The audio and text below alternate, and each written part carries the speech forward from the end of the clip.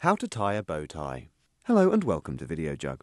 A bow tie uses the same kind of knot as your shoelaces, and once you've got the hang of it, it's just as simple. We've come to Henry Poole & Co., the founding fathers of London's world-famous Savile Row, where Alan Alexander is going to show us how to tie a bow tie. Step 1. Adjust the strap. Before you begin, adjust the strap to your collar size using the measurements on the back. Step 2. Prepare. Begin by turning up your collar. Drape the tie around your neck and turn the collar down again. Do up your top button and make sure the two ends of the tie hang evenly.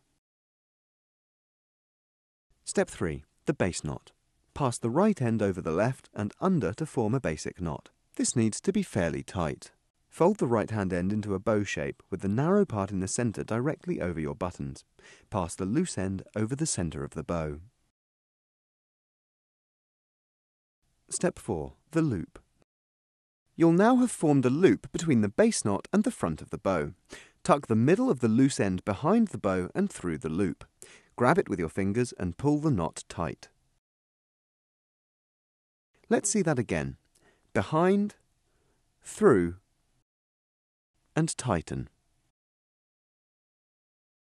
Step 5. Adjust. Tweak the bow to achieve the desired shape. Insert your index fingers into the loop of the tie and pull outwards. This will smooth out the creases and tighten the knot. The tie should be quite high on the collar, completely covering the collar button. It should be an even shape and the underside should sit flush with the ends of the front bow. Done.